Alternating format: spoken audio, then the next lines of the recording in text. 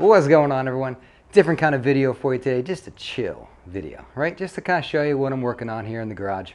And if you don't know this about my channel, I'm kind of performance oriented when it comes to e-bikes, right? I love fast bikes and powerful bikes and I like making them faster and more powerful. And I did just launch my first product, which was the front motor kit, citizenperformance.com, where you can take your ordinary fat tire e-bike and make it all-wheel drive by putting a motor on the front. And uh, been pretty successful so far. So thank you, appreciate all the support. But in creating that kit, I also ended up with a lot of like spare parts laying around the garage, right? I got extra batteries and wiring harnesses and controller. I got like five different extra controllers and I can't just leave that stuff sit around. I gotta like try stuff with it. So I'm experimenting today. I'm experimenting on this Himiway Zebra. It's got the front motor kit on it already, but I got to thinking, okay, I got all this extra stuff. What if I take my kit controller and battery, what if I hook that up to like the Himiway motor? What happens? So that's what I've been doing, plugging aftermarket stuff into the stock Himiway motor to see what happens. And uh, I'm kind of surprised actually what happened. L let me show you what I'm doing. All right, now I know this looks like chaos right now, but just go with me on this for a second. I'm gonna explain everything. So here's the experiment that I'm running. I have this extra controller. This is a 40 amp controller um, this was before I decided to go with 45 for my front motor kit. I tested a 40, I thought 45 would be better. So I've got this extra 40 laying around. I've got my kit battery right here. And what I'm gonna do is I'm gonna plug these two items into the stock Himiway motor to see what happens. Now, the first problem I ran into is my motor plug on my kit is different than the Himiway motor plug. So, you know, I happen to have an adapter laying around because I got like four of these laying around. I got a lot of parts in here now. So if I take and plug this in to my kit controller, now I can plug into the Himiway motor. There we go. We got a controller plugged into their motor. Now I need to get onto this battery. I was experimenting with XT90s, which I ended up going with XT60s on my kit. So I have a 90 to 60 adapter I made. for keep just stay with me here. Just stay with me. All right, so now we're gonna plug in our battery into this, this Himiway motor and controller. Okay, we got juice. And then this wire right here is my controller plugged into this wiring harness, which goes up to the display. I'll show you. I didn't want to remove all the display and everything off of the bike, so I just plugged it in right there. So we are all set. I have the Himiway motor attached to my 40 amp controller and 52 volt battery. Let's see what happens. All right, we got the system powered up. Are you ready to see what this Himiway motor is capable of? Here we go.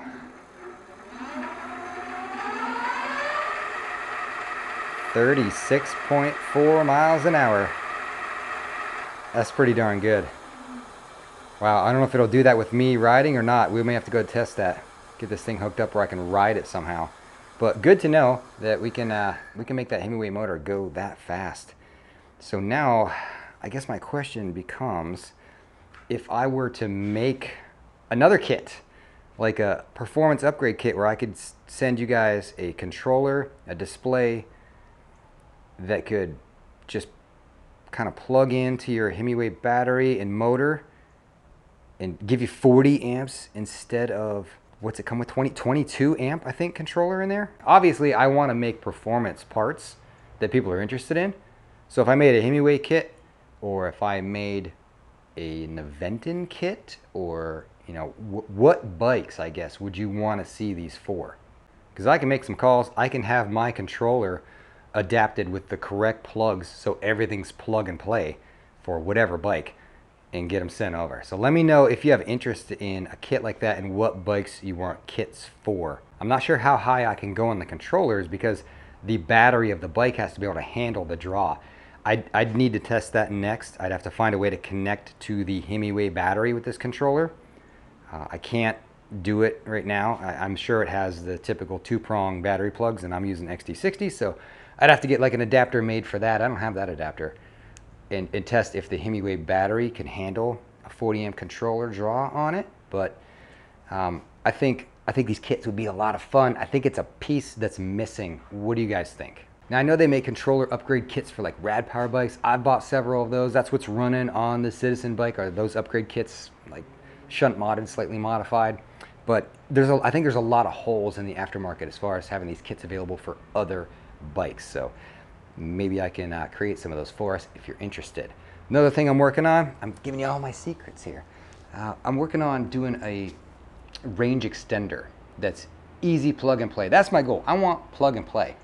Most people don't understand all the controllers and the you know wiring harnesses and the plugs and this and that. So I, I want to make stuff that's plug and play for you guys where you just have to plug stuff in. So I'm working on kind of a range extender where you can get the battery balancer with you know all plugs that match the wiring harness.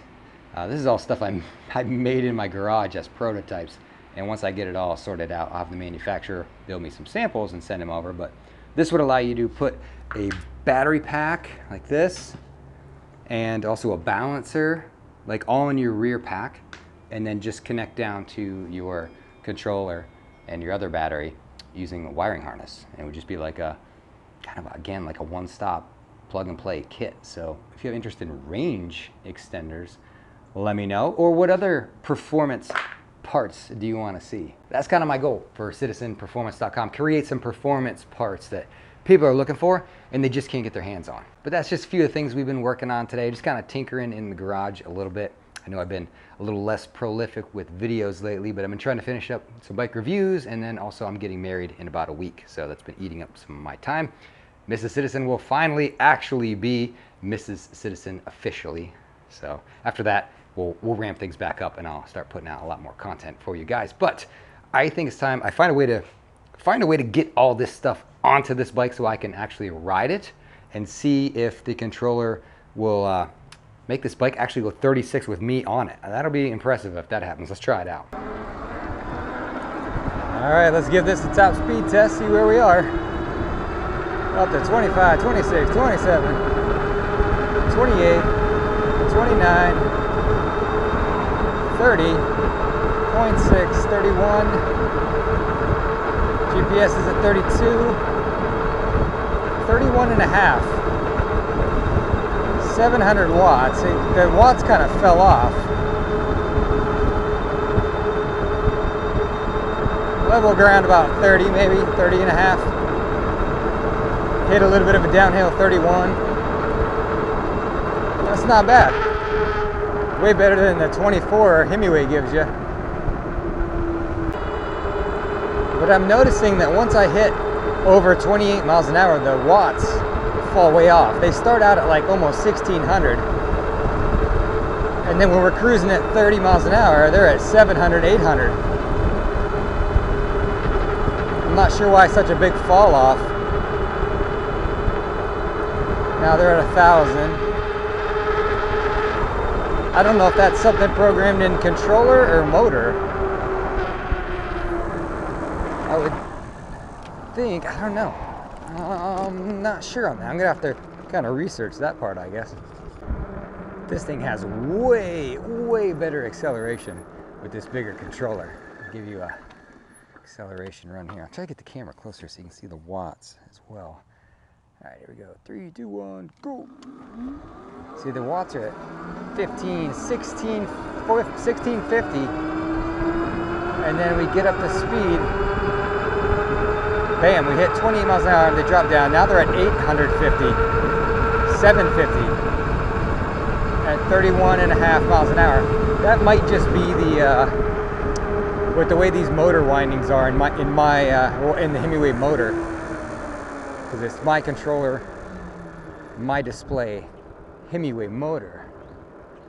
It just might be where the motor windings max out. It can't spin any faster than 31. So I don't know. I, I, don't know. I, am just an experimenter. I'm not a uh, designer of this stuff. Well, uh, technically I designed this kit, but anyway, I need to research that more and find out if that's just as fast as this motor spins or what. But I mean, hey, 31 and a half miles an hour is way better than I think 25 is about 24.9 is where a Himiway normally cuts out. So we got a lot more speed and power by throwing my controller and display on there. So I think I could kind of throw together some kind of kit to increase the power of a Himiway. I mean, I just did it here, just by not even like custom designing it, just by throwing on the leftover parts that I have available in my garage. All right, let's try to quantify this a little bit more. I went back to my uh, old video of testing the Zebra in its stock form, and it climbed the hill climb in 25 seconds, 25.2 I think it was. So let's test it out here. Now we're getting a lot more power. See how quick we can do it. All right, three, two, one, go. It's gonna be faster than 25, I'll tell you that. You can feel the pull off the line. 14 mile an hour, 15, 16. That's feeling pretty good. Time, I'm gonna say that was probably more like a 22 second climb. That was pretty good. I'll have to check officially in my editing, but I could feel that this bike was way, way more powerful with that bigger controller on there. The results might be a little bit skewed because I am running everything off this 52 volt battery. And if I made a controller display plug and play upgrade kit for Himiway, you'd be running it off the stock Himiway battery, which is 48 volt. But then again, this is a 40 amp controller, powering the back motor. I might do a 45 for the kit, which may even it out. Uh, and actually, this is way heavier than a stock Himiway because I got my front motor kit on there, two extra controllers, an extra battery on there, all this extra wiring harness. So this is way heavier than Himiway. I think it'd be probably just as powerful if you did a kit. I think it would be the results would be very similar to what I just showed you. And I think the bottom line here is that you can, I, determined that you can run a lot more power to that Himiway motor. I rode for like seven miles. And motor's really not even, it's not hot. It's like lukewarm right now. So no motor overheating from it. That's good. Uh, yeah, I mean, I think it's possible. I mean, I, I did it out of spare parts in my garage. So I could probably design a kit to boost the power on this and probably do it for other bikes as well. I got a feeling people are going to be wanting one for maybe like an Aventon Aventure bike. A bunch of you emailed me already asking about that. Let me know in the comments. I want, I want to hear what you guys want for performance upgrade parts. What bikes, what things. But I think this would be pretty easy to do to boost Himiway motors. Or if you just want a crazy boost, I mean, you could get the front motor kit, which is on pre-order right now. There's some left. I've almost sold through everything I ordered from the manufacturer. I was hoping that when I get the shipment in May, I was going to have some left over. That way I would have a few in stock on the website, but I don't know. I might actually sell through all of them before they even get here. So, but there is some left. Um, citizenperformance.com for that. And I'm going to try to build out and put some more parts on there for everyone. But there you go. That's all for today. Hope you enjoyed the little experimentation. I do have that adventure bike hanging on the wall right there. I could potentially monkey around with that too, let me know. But it's all for today. Thank you so much for watching.